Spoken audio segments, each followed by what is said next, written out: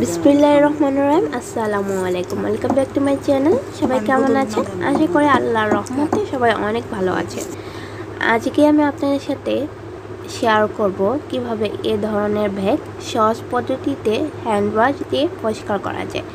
জানি অনেকেই আছেন পরিষ্কার করতে পারেন না বাট আজকের আমার ভিডিওটি তাদের জন্য যারা এই ধরনের ব্যাগ পরিষ্কার করতে পারেন না।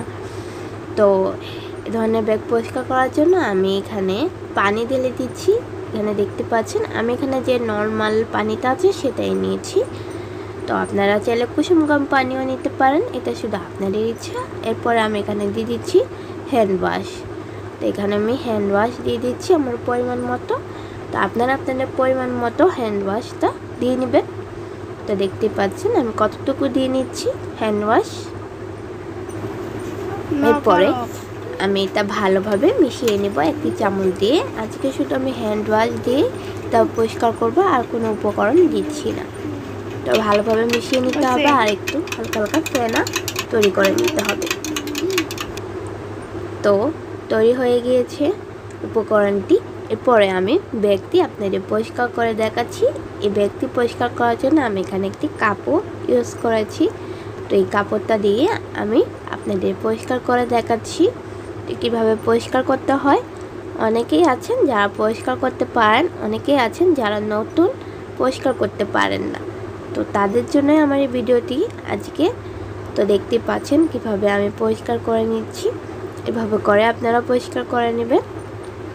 এভাবে করে ঘষে ঘষে সুন্দরভাবে হালকা করে পরিষ্কার করলেই হবে। এরপরে একটি ফ্যানের নিচে দিয়ে দিবেন যেন শুকিয়ে যায় অথবা একটি পরিষ্কার কাপড় দিয়ে পরিষ্কার করে নেবেন।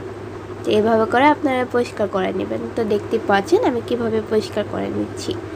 যদি আমার ভিডিওটি একবার হলেও আপনাদের উপকারে এসে থাকে, তাহলে আমার চ্যানেলটি সাবস্ক্রাইব করতে ভুলবেন না। আর পাশে থাকা বেল আইকনটি বাজিয়ে দিবেন।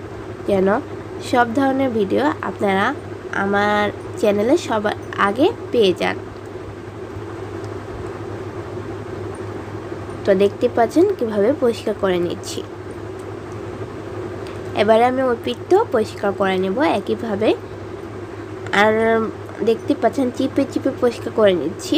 পানিটা যে পুরোপুরি লাগাচ্ছি না একেবারে, লাগিয়ে একেবারে চিপে চিপে পরিষ্কার করে নেবেন, এতে করে অনেক ভালো। এবার পানি দিয়ে পরিষ্কার করতে যাবেন না। আমরা অনেকে আছি এই ধরনের ব্যাগ পরিষ্কার করি না। বাট এগুলো অবশ্যই আমাদের পরিষ্কার পরিচ্ছন্ন রাখা দরকার, কারণ এগুলো আমরা অনেক ক্ষেত্রেই ব্যবহার করে থাকি। তো আজকে আমি এখানে বিদায় নিচ্ছি। সবাই ভালো থাকবেন সুস্থ থাকবেন। আল্লাহ হাফিজ।